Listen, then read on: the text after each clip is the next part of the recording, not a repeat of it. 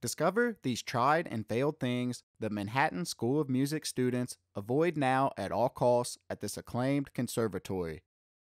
Not scheduling for your registration appointment when you're supposed to. MSM is probably one of the fewest schools that still have an in person class registration system in this day and age of internet dominated world. Everyone has one chance per semester to schedule an appointment with a registrar in the lobby. You will get an email two weeks in advance about how the period lasts for two days only, so you better mark your calendar and get yourself down there to schedule an appointment. Booking your recital last minute. Hundreds of non required recitals and required graduation recitals happen every year, and everyone wants to do them on a weekend evening in April. The recital paperwork is available to you many months in advance for this exact reason.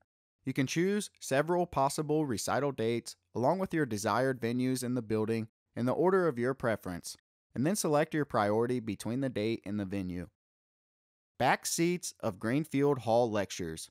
My history professor once told our class that only the first five rows will get a decent mark on their exams.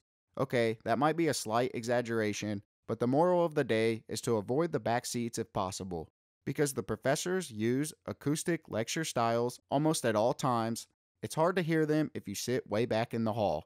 Unlike instruments, human voice doesn't travel very far, and being where you can't even hear the lecture is the opposite of the reason that you go to school. The sushi rolls, cold sandwiches, and desserts sold in the little fridges in the cafeteria. No, put that down. I repeat, do not buy any of these things. If you don't have any choice but the cafeteria, Maybe the hot grill section or even the sandwich bar will do, or get a piece of fruit. Just don't pick up any of those cold, pre made sandwiches, sushi rolls, or the desserts. They're sad, dry, definitely not fresh, tasteless, and ridiculously overpriced.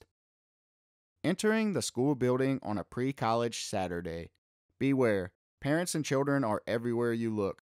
All you need is one good look at the lobby, library, and the cafeteria. You won't ever want to sit down anywhere with that many people around.